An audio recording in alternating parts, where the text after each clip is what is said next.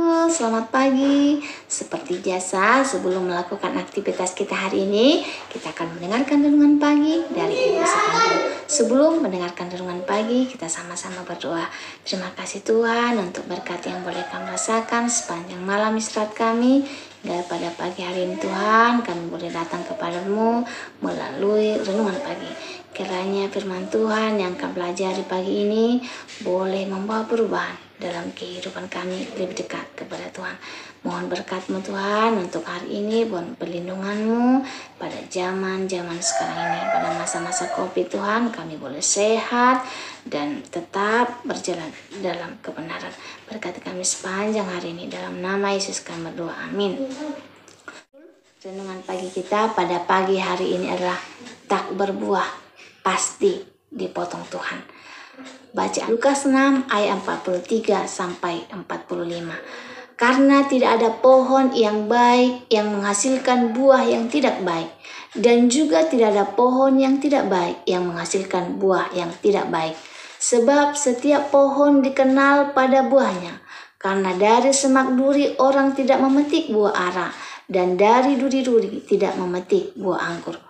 Orang yang baik mengeluarkan barang yang baik dari pembendaharaan hatinya yang baik.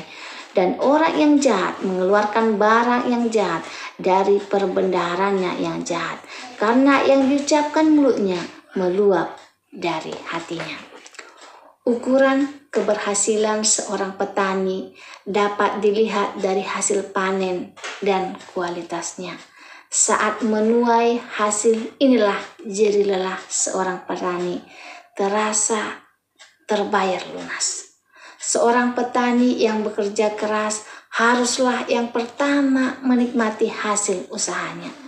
2 Timotius 2 ayat 6 Begitu pula dengan kehidupan kekristenan. Seseorang yang dapat dikatakan dewasa rohani bukan dilihat dari seberapa lama ia mengikut Tuhan atau seseorang atau seberapa aktif terlibat dalam pelayanan, tetapi melalui buah-buah yang dihasilkan dalam praktek kehidupannya. Oleh karena itu, hasilkanlah buah yang sesuai dengan pertobatan. Matius 3 ayat 8. Tuhan sangat menghendaki kita menjadi orang Kristen yang bertumbuh dan berbuah. Bertumbuh dan berbuah tanda adanya kehidupan. Untuk dapat bertumbuh dan berbuah, hal mendasar yang harus kita lakukan adalah menyiapkan tanah hati kita untuk ditaburi benih firman Tuhan. Sebab iman timbul dari pendengaran dan pendengaran oleh firman Tuhan dan pendengaran oleh firman Kristus. Roma 10 ayat 17. Jadi respon hati kita terhadap firman Tuhan akan berpengaruh besar terhadap pertumbuhan rohani kita. Yakobus menasihati sebab itu buanglah segala sesuatu yang kotor dan yang jahat yang begitu banyak itu dan terimalah dengan lemah lembut firman yang tertanam di dalam hatimu yang berkuasa menyelamatkan jiwa. Yakobus 1 ayat 21. Bagaimana keadaan hati kita? Seperti apa tanah yang keras, batu-batu penuh semak duri atau tanah yang baik? Alkitab mengatakan bahwa benih-benih yang ditabur di tanah yang baik ialah orang yang mendengar dan menyambut firman itu lalu berbuah. Ada yang 30 kali lipat, ada yang 60 kali lipat, ada yang 100 kali lipat. Mas Markus 4 ayat 20. Dan setiap pohon yang baik menghasilkan buah yang baik. Sedangkan pohon, sedangkan pohon yang tidak baik menghasilkan buah yang tidak baik. Tidak mungkin pohon yang baik itu menghasilkan buah yang tidak baik.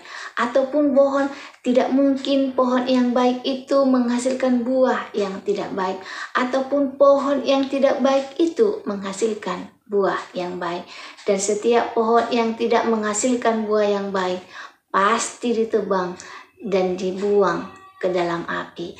Matius 7 ayat 17 dan 19. Menjadi pelaku firman adalah bukti nyata bahwa kehidupan orang Kristen benar-benar menghasilkan buah.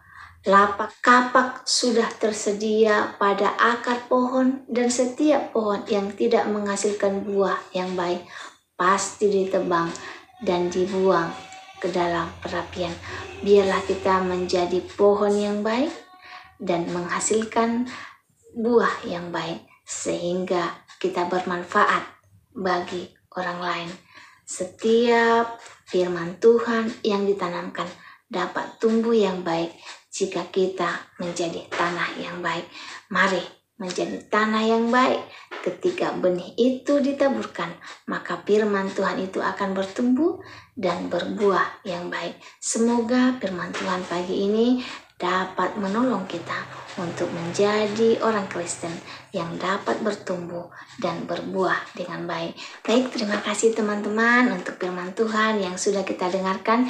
Jika teman-teman ingin menjadi berkat bagi orang lain, sekaranglah saatnya Ayo share uh, video renungan pagi ini kepada teman-temanmu, sahabatmu. Dengan begitu mereka juga mendapat berkat firman Tuhan pagi ini dan kita sudah melakukan satu perbuatan baik pada pagi hari ini.